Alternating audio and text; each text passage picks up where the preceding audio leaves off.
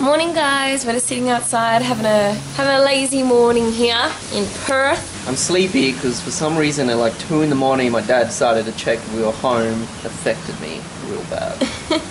It's a nice day. yeah, except for the wind, always, always Perth, always. See it? Nothing but all the finer things.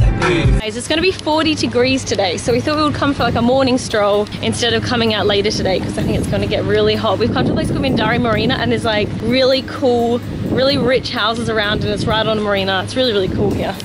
We don't come here often enough, I think. Yeah, because I think So we have cool. Hillary's so close and there's technically more to do at Hillary's, but this is actually really cool. You should see some of the houses here, they're insane. Being able to live in one of these houses one day is totally my goal. it is so nice. And they've got all their just boats here. Some even have boats just at the front of their houses. One of my very first jobs was working here selling ice cream and I used to steal so much ice cream. But look at the view we had. Except this used to not be here. probably would have rung some alarm bells when I found out Jess's first job was an ice cream place. That's probably where the obsession began. very true. And it grew from there. Oh yeah, it's like an addict. That was me with ice cream, and when the boss wasn't looking, I'd quickly get a spoon and be like, ah.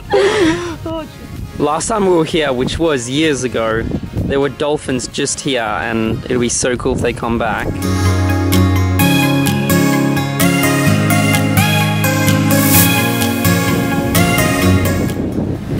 Guys see all the indents in this car?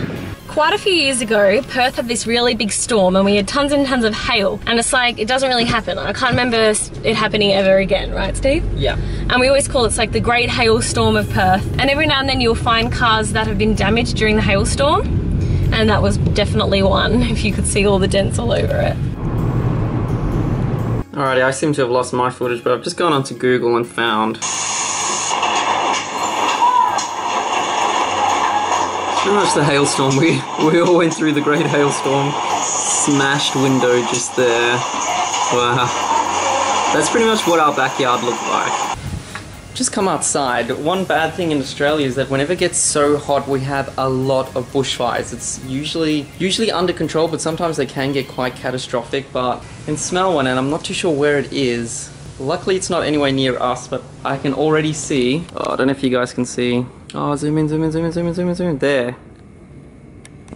That's a helicopter there, probably going to look for the bushfire. Just hope no one, like nothing's wrong, everyone's sorted, but I'll just have to check the news later on today.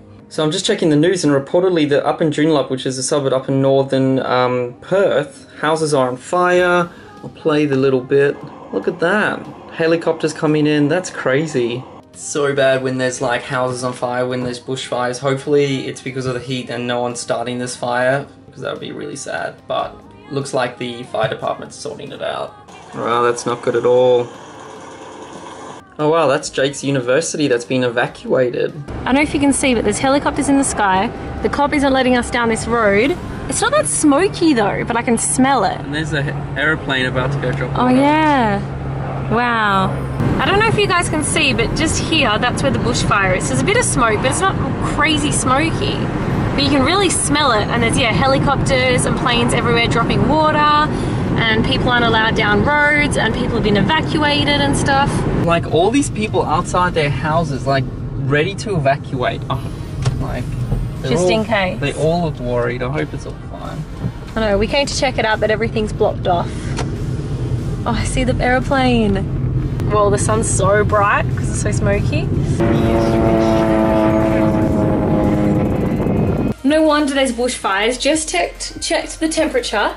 It's 6 p.m. at night and it's 105 degrees Fahrenheit, which is 41 degrees if you live in Australia. So that is hot. Imagine how hot it was in the middle of the day.